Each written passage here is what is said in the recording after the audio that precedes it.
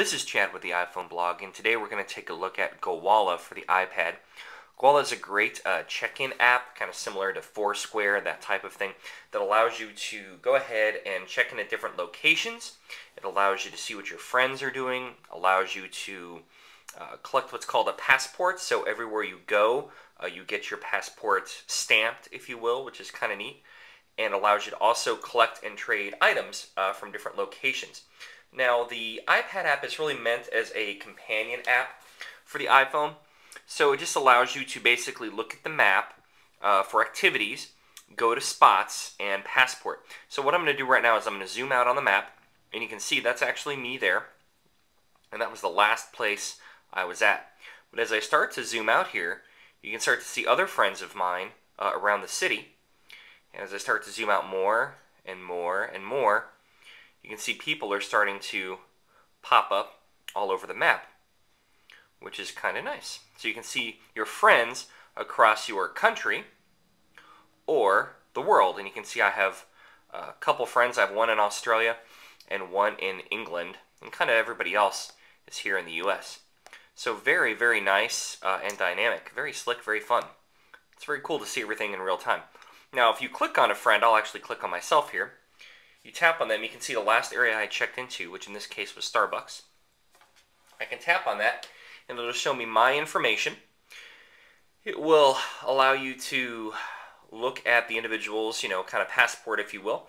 You'll see here that I have uploaded photos, my website, which is tipb.com, my Twitter account, which, by the way, if you tap on that, it will take you to Twitter or whatever your link may be. You can see my recent check-ins. You can also see my stamps.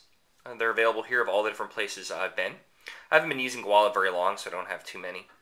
Pins, which kind of are like achievements. So one of them is, hey, I installed Gowalla, good job. Another one is you've checked into five different places. Sightseers, I've checked, I think, to 10. And then you get a list uh, of your friends, which is kind of nice here. Uh, you also have your recent activity of your friends over on the left. Uh, so you can see uh, Leo Laporte checked into the Twit Cottage four hours ago as an example. And if I go over to spots, this is where I am right now, and it shows places in my area, and I can zoom in and take a look and see what these what these places are. And uh, you can see as you move around dynamically, these places fill in, and the places on the left for nearby spots fill in. So I'm going to zoom out a little bit, and I'm going to I'm going to head downtown a little ways uh, so we're going to scroll over to here, and this is actually downtown. So I'm going to check this out here, and you can see it starts to, to fill in. It's pretty cool, lots of places to, to look at. So this is the actual downtown.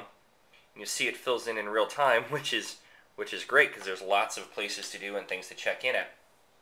Now once I do this, I can start to tap on them. So if I tap on this, I don't even know what it is, uh, it says it's Nada, which means to be a cafe. This is Starbucks uh, on the Skywalk.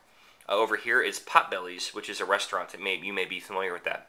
Over here is Izzy's on Main. Here's a Chipotle. And if I tap on Chipotle, it tells you that I'm not there.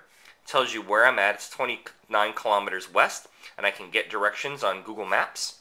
If I take that, launches me right out to Google Maps and will map me um, from pretty much where I am to this location. And if I tap this, you see it'll come down here and I can spin this around and hopefully we get a nice uh, view of Chipotle, which I don't really see, but I have to assume Chipotle's got to be around there somewhere. Um, and we can tap and go back. I'll tap the home button and we will go back to Gowalla. Now I can also go ahead and look at uh, passports. So again, this is very similar to what we saw before. Uh, it's just limited to, to just looking at me and no one else. Uh, so it's pretty slick, lots of fun. I really do like Gowalla. Uh, the iPad app, though, is meant as a companion, so you can't do a lot of things uh, such as vault your items uh, that you maybe pick up.